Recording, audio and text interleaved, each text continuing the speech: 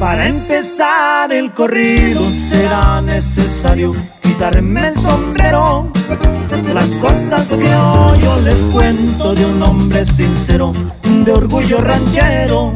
Un hombre que no se raja la vida enfrentado con humildad y con huevos.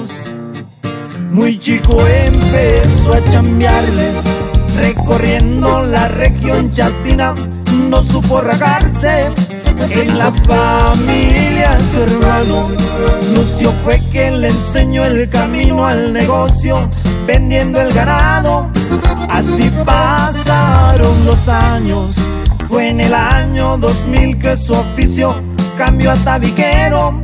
Materiales de construcción es la empresa por la que responde ante todo el viejo. Juan Merino a cualquier modo.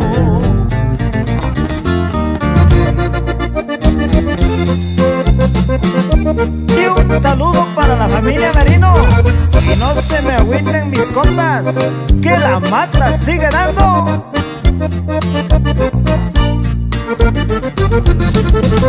San José Tepe, lugar que ha sabido dar gallos muy finos. Cuando todo marcha bien, el destino pone pruebas y te alarga el camino. La parte triste de la historia sigan escuchando y ahorita les digo. El tiempo pasa y no vuelve. 2020 la muerte a su familia llegó a sorprenderle. Un 25 de agosto un fatal accidente acabó con la vida del muchacho alegre. Tus recuerdos se han quedado con tus padres, también tus hermanos no podrán olvidarlos. Y hasta el cielo va el saludo. Elvis Merino Ruiz fue tu nombre en esta tierra. Haces falta y te recuerda.